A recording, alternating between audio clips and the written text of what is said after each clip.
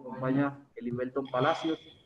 Comenzamos con Juan Carlos Jiménez de Munera Itzman Radio. Se prepara John Gil de Colombo. Muchas gracias, David. Un saludo muy especial para todos. Elivelton, eh, hombre, después de la salida de Daniel Muñoz, se empezó a mm, analizar y se generó cierta expectativa, se generó cierta expectativa en virtud de quién iba a ocupar y además de ocupar, a desempeñar esas funciones que dejó Daniel Muñoz en Atlético Nacional. Se le preguntó a Juan Carlos Osorio y dijo, hombre, creo que Libelton es el hombre para que no, eh, digamos, se compare eh, en, en 100%, pero que sí pueda cumplir con ciertos roles que desempeñaba Daniel Muñoz. Y, y entonces ahí viene la pregunta para usted, esa presión, ¿cómo la asimila? Porque para nadie es un secreto lo que era Daniel Muñoz en Atlético Nacional, mi estimado Libelton. Hola Juan, buenos días, espero te encuentres muy bien. Eh, como tú lo dices, eh, Daniel era un gran jugador, era nuestro capitán y como tal dejó una huella aquí, era un jugador muy punzante, pero bueno, ahora ya no lo tenemos, eh, tenemos igualmente un gran grupo y como tal en cada entrenamiento estoy tratando de, de entender la idea, de cada vez poner más en práctica lo que el profe quiere, que es muy importante para, para el desempeño de todo el equipo en cuanto a las interiorizaciones y obviamente llegando al arco, al arco contrario. Lo estamos trabajando y creo que, de que este va a ser un, una gran continuación de, del torneo para nosotros ahora que llegue la competencia de nuevo. Pregunta John Gil de Colmundo Radio. Se prepara Julián Céspedes de Win Sports.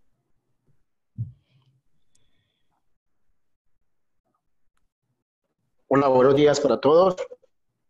Buenos días para el Libertón. Mi pregunta, eh, quiero saber realmente cuál es la función, función que están realizando fuera de ser lateral. ¿Qué otra?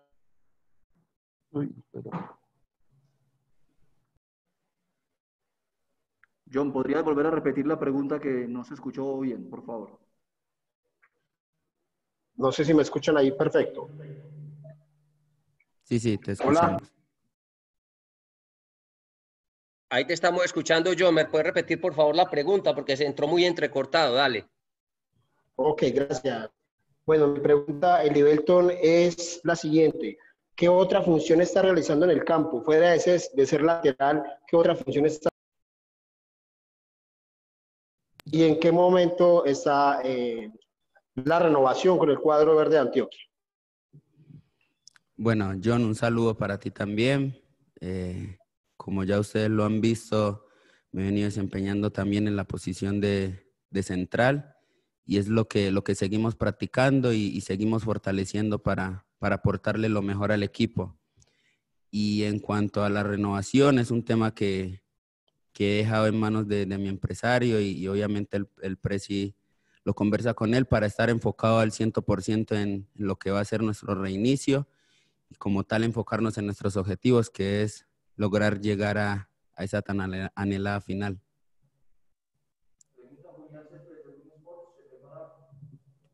Pregunta Julián Céspedes de Win Sports. Se prepara Luis Alondoño de ESPN.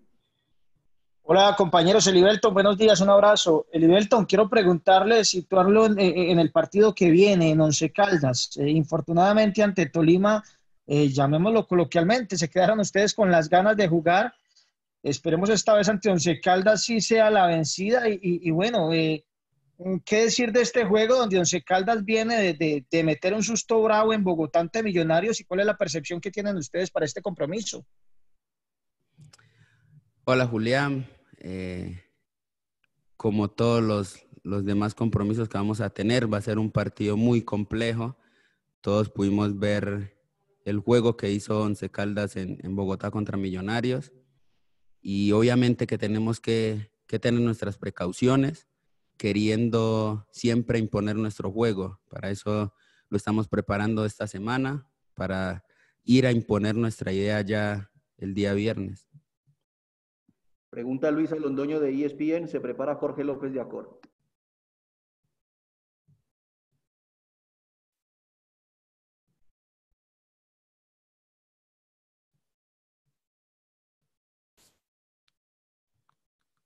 Pregunta Jorge López de Acord, ¿se prepara Néstor Ibarra de Gol Caracol?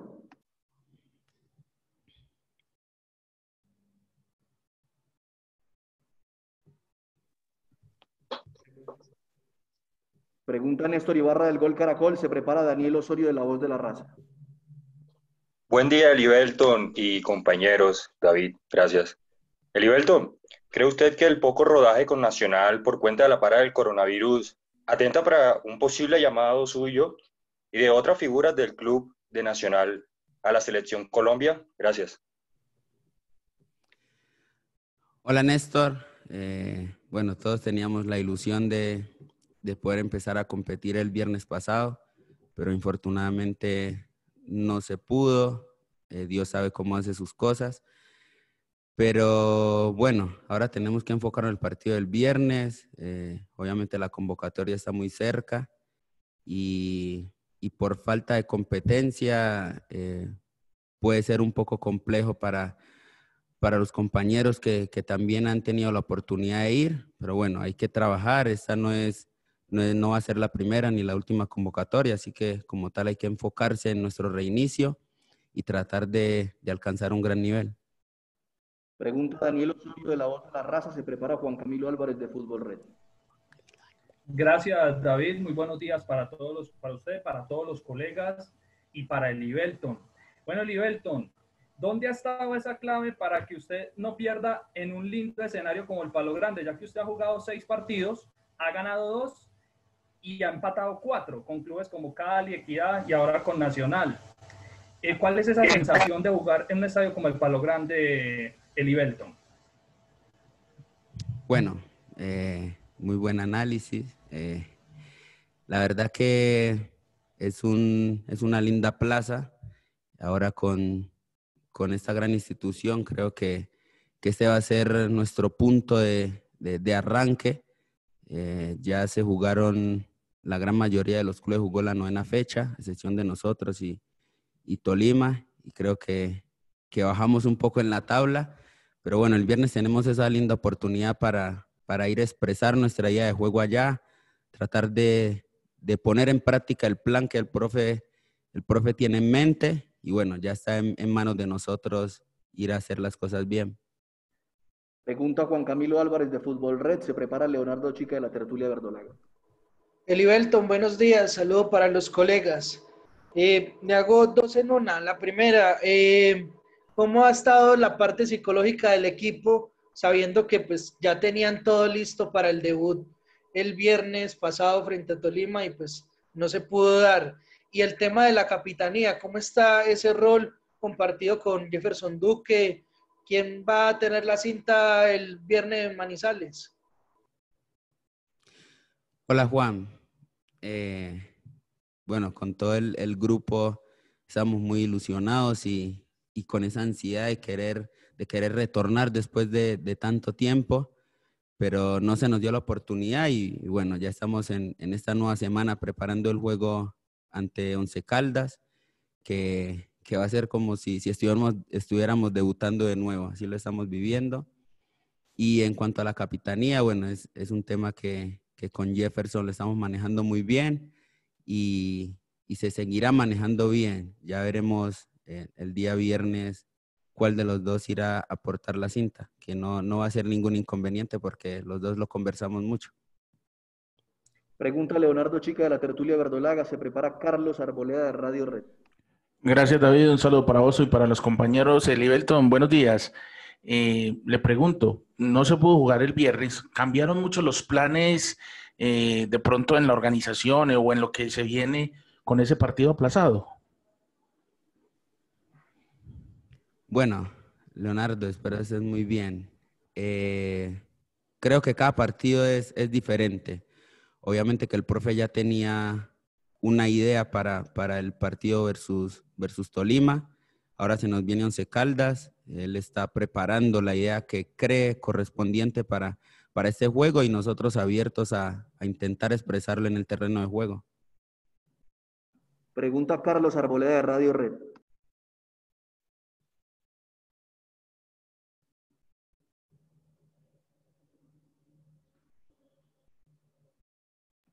Pregunta Jorge López de Acor Antioquia.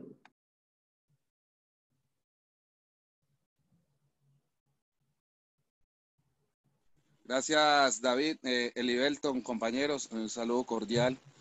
Ya que no se pudo jugar, y creo que esta es como la pregunta que todos hemos estado haciendo, ya que no se pudo jugar el viernes anterior y lo que se ha trabajado precisamente, de pronto enlazado lo que decía Leonardo Chica, ¿dónde lo ha puesto el profesor Juan Carlos Osorio a trabajar? ¿De lateral, de zaguero central o de volante central, como lo vimos en partidos anteriores, Elibelton? Bueno, con el profe en los diferentes entrenos eh, lo practicamos en diferentes posiciones para todos los que estemos en esa zona, tengamos la idea para saber en el momento que nos corresponde estar en, las diferentes posiciones, sea de lateral, sea de central o sea un poco más interior, tener y, todos saber lo que, lo que debemos, lo que debemos hacer en, ese momento, en la posición en la que estemos. Así que lo hemos, lo hemos hecho con el profe de lateral, de central, y, ahí estamos, disponibles a lo, que, a lo que el profe crea más correspondiente y obviamente creyendo en, sus decisiones. Última pregunta para Liberton, para Liberton de Luisa Londoño de ESPN.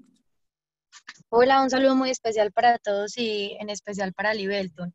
El Liberton, ¿ha podido analizar de este Once Caldas que ¿Qué debilidades tienen que atacar ustedes y qué fortalezas tienen que sacar a relucir ustedes para comenzar con pie derecho esta nueva, esta nueva fase, por decirlo así?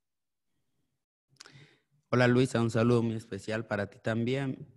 Eh, bueno, el partido que, que pude observar Millonarios versus Once Caldas, creo que, que primó mucho el, el fuego directo.